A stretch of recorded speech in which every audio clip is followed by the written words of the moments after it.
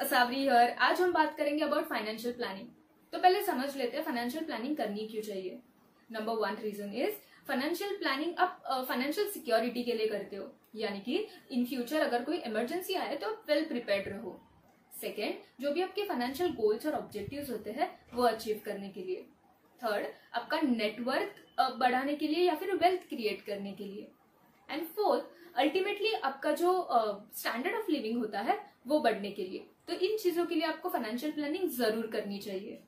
So let's move on to our second point financial planning कैसे करते हैं? What is the process so there are four important steps number one आपका current financial situation है वो ठीक से analyse कीजिए। जैसे कि आपका इनकम फ्लो कितना है आप आ, कितना स्पेंड करते हो आपकी सेविंग्स कितनी है आपके आप कितने डेप्थ में हो यानी कि कर्जे में हो। इफ़ करंटली आप ऐसे पोजीशन में हो जहाँ पे आपकी सेविंग्स ज़्यादा नहीं है तो क्या इसका मतलब यह है कि फाइनेंशियल प्लानिंग आपको नहीं करनी चाहिए? बिल्कुल नहीं। इसका मतलब यह होता है कि फाइनेंशियल प्लानिंग की मदद से आप आपका फाइनेंशियल सिचुएशन इंप्रूव कर सकते हो। Now comes the second step हर एक फाइनेंशियल प्लानिंग का एक ऑब्जेक्टिव या गोल होना चाहिए। Objective person to person differ करते हैं। नाउ ये ऑब्जेक्टिव्स का एग्ज़ाम्पल देने जाओ तो एग्ज़ाम्पल आपको घर लेना हो या फिर बड़ी वेकेशन प्लान कर रहे हो, या रिटायरमेंट प्लान कर रहे हो चिल्ड्रंस एजुकेशन ये सारे फाइनेंशियल गोल्स और ऑब्जेक्टिव्स के अंडर आते हैं। थर्ड इज़ जो भी आप फाइनेंशियल ऑब्जेक्टिव्स आपके चूज़ करते हो, उसके बेसिस पे आपको प्लान बनाना बहुत ज़रूरी है। ये प्लान और गोल्स आपको इम्प्लीमेंट करना भी उतना ही ज़रूरी है। मेक श्योर sure, जो भी बड़े गोल्स हो जैसे कि फॉर टेन ईयर्स और फाइव ईयर्स वो मेजरेबल हो ईयर टू ईयर और मंथली बेसिस पे आप उन्हें मेजर कर सको। ये वेल डिफाइंड पीरियड के लिए होने चाहिए। It should never be like आपको एक स्पेसिफिक पीरियड डिसाइड करना होगा कि आपको इतना चिल्ड्रंस एजुकेशन टेन ईयर्स के लिए करना है। वेकेशन का प्लानिंग हो एग्ज़ाम्पल तो आपको वो थ्री ईयर्स के लिए करना है। It depends on your goal this is just an example now comes the fourth step fourth step में आपको आपका जो प्लान होता है, वो हमेशा रिव्यू करते रहना है। हम रिव्यू क्यों करते हैं? तो हम रिव्यू इसलिए करते हैं, हम सही डायरेक्शन में इन्वेस्ट कर रहे हैं। हम हमारे ऑब्जेक्टिव्स के पास पहुँच रहे हैं या नहीं, वो चेक करने के लिए या फिर हमारे प्लान्स में कुछ चेंजेस आते हैं। तो उस हिसाब से हमें हमारा प्लान जो भी फाइनेंशियल प्लानिंग होती है, वो मॉडिफाई करनी होती है। So this are the four points जिसके बेसिस पे आप फाइनेंशियल प्लानिंग कर सकते हो। So guys let's move on to our third point elements of financial planning ये एलिमेंट्स में नंबर वन आता है रिटायरमेंट प्लान रिटायरमेंट प्लान करना बहुत ही ज़रूरी है, ये आपके ओल्ड एज का केयर करता है. यहाँ पे it is you can invest in to national pension schemes और जितना अर्ली एज में आप रिटायरमेंट प्लान स्टार्ट करो, उतने ही आपको बेटर रिटर्न मिलते हैं. Second point is risk manage करना. रिस्क मैनेज करना बहुत ही इंपॉर्टेंट है. रिस्क मैनेज uh, करने के लिए आपको लाइफ रिस्क और आपका हेल्थ रिस्क दैट इज़ आपको टर्म इंश्योरेंस लेके आप लाइफ रिस्क कवर कर सकते हो और हेल्थ इंश्योरेंस यानी कि मेडिक्लेम लेके आप हेल्थ रिस्क मैनेज कर सकते हो। ये यहाँ पे मोस्टली इंडिया में ऐसे देखा गया है इंश्योरेंस नहीं लेते उन्हें ये वेस्ट लगता है। गाइस इंश्योरेंस या फिर मेडिक्लेम्स uh, लेना बहुत ही इंपॉर्टेंट है। ये आपको इन फ्यूचर में जो भी कैलेमिटीज आए नेचुरल इमरजेंसी हेल्थ इमरजेंसीज है उससे प्रोटेक्ट करता है। उससे आपको और आपकी फैमिली को प्रोटेक्ट करता है। यहाँ पे एक टिप देना चाहूँगी जो भी इंश्योरेंस होते हैं हमारे अगर आप बड़ा इंश्योरेंस क्लेम कर रहे हो like three crore one crore तो आप एक कंपनी में ना लगा के दो या तीन कंपनी में आपका क्लेम डिवाइड कर लीजिए, ताकि आपको जब भी क्लेम करना हो तो वो आपको आसानी हो जाएगा। Now the third point is tax planning financial planning से आपको बहुत से टैक्स बेनिफिट्स मिल सकते हैं बिकॉज़ आप कॉन्शियसली डिसीज़न लेते हो आपको किस चीज़ में इन्वेस्ट करना है। यूजुअली ऐसा भी देखा गया है कि लोग जितना टैक्स बेनिफिट मिलता है उतने का ही टर्म या फिर लाइफ इंश्योरेंस लेते हो।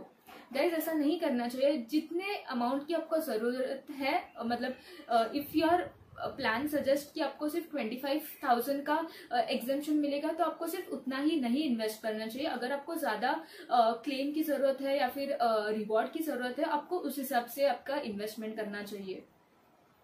फोर्थ, आपको स्टेट प्लानिंग के लिए। जो भी आप प्रॉपर्टी लेना चाहो, आप उसके लिए प्लान कर सकते हो। Financial planning will help you achieve those goals and last but not the least cash and budgeting in this video we are going to talk in detail about cash flow and budgeting here now let's understand savings क्या होती है। तो savings ये होता है, अगर आप आपका जो भी खर्चा है, वो आपका मंथली खर्चा रेंट इलेक्ट्रिसिटी फ़ूड जो भी एक्सपेंसेस है, वो मिला के वन मंथ का expense into six month that is अगर आपकी जॉब चली जाए तो सिक्स मंथ तक आपको कोई दिक्कत ना आए। इतना आपका सेविंग्स होना चाहिए। अगर आप आपके ट्वेंटीज में हो या फिर सिंगल लाइफ लीड कर रहे हो तो it should be into six लेकिन अगर आप ओवर थर्टीज हो या फिर यू हैव अ फैमिली तो आपका monthly expense into twelve that is आप वन ईयर तक सर्वाइव होने चाहिए उतना आपका सेविंग्स होना ज़रूरी है। In this video we are also going to discuss about simple basic points of budgeting जो बहुत ही मशहूर मोटिवेशनल स्पीकर है मिस्टर टी हावेकर इन इनका ये प्लान है। यहाँ पे उन्होंने सिक्स पार्ट्स में अप, अपनी इनकम डिवाइड की है। तो लेट्स अंडरस्टैंड क्या है ये six चार्गन्स number one is necessity necessity के लिए आपको 45 परसेंट आपकी इनकम का शेयर डाल सकते हो। यहाँ पे नेसेसिटीज uh, में आपके डेली डे टू डे खर्चे जैसे कि rent electricity bill bills generally food ये सारा खर्चा आता है। Second point long term savings long term savings में आप टेन परसेंट शेयर अलॉट कर सकते हो। यहाँ पे यूजुअली ये सेविंग्स हम करते हैं for big purchases long term goals या फिर कुछ वेकेशन के लिए हो। चिल्ड्रंस एजुकेशन या इन सारी चीज़ों के लिए होता है, जो बड़े खर्चे हो। थर्ड प्ले प्ले के लिए आप टेन परसेंट हिस्सा आपके इनकम का अलॉट कर सकते हो। प्ले यानी कि एंटरटेनमेंट पर्पज के लिए या फिर खुद को स्पॉइल करना फैमिली को स्पॉइल करना गिफ्ट्स गिफ्ट्स मूवीज़ ये सब प्ले में आता है। फोर्थ इज़ एजुकेशन एजुकेशन में आप टेन परसेंट हिस्सा अलॉट कर सकते हो। Now if you are like मेरा तो एजुकेशन हो गया I don't need funds for education guys always remember आपका जो स्किल सेट होता है it is directly link to your pay scale अगर आप आपका स्किल सेट डेवलप करते रहते हो तो आपका पे स्केल ऑटोमेटिकली बढ़ता जाता है which is very good now comes the fifth point financial investment तो आपको आपके इनकम का at least twenty percent part financial investments में डालना चाहिए। यहाँ पे अगर आप पैसिव इनकम के लिए कोई बिज़नेस में इन्वेस्ट कर रहे हो, वो आता है म्यूचुअल फंड्स आते हैं स्टॉक्स आते हैं स्टॉक बॉन्ड्स और any other kind of investment now comes the last part that is donation आपको आपके इनकम का five percent of the part donation के लिए रखना होता है। चैरिटेबल डोनेशन या आप कोई भी चैरिटी एनजीओ को दे सकते हो या फिर आप फ्रेंड्स और फैमिली को हेल्प करने के लिए ये हिस्सा रख सकते हो।